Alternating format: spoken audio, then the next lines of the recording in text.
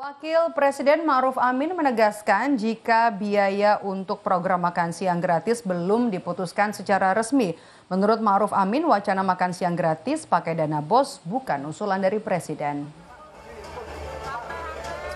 Menurut Ma'ruf Amin, sumber dana makan siang gratis belum dibahas secara detail, apalagi sampai menggunakan dana bos. Ma'ruf Amin menyebut pemerintah saat ini hanya menyiapkan antisipasi program andalan pemerintah yang akan datang.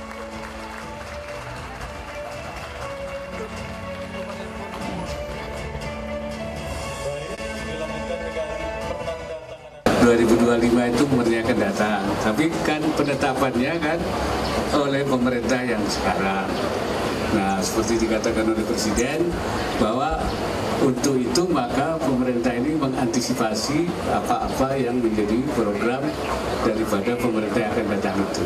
Itu baru apa namanya itu, baru nanti akan di, dimasukkan yang mana itu, itu belum spesifik kata Presiden kan belum belum spesifik masuk seperti makan atau ini atau itu belum.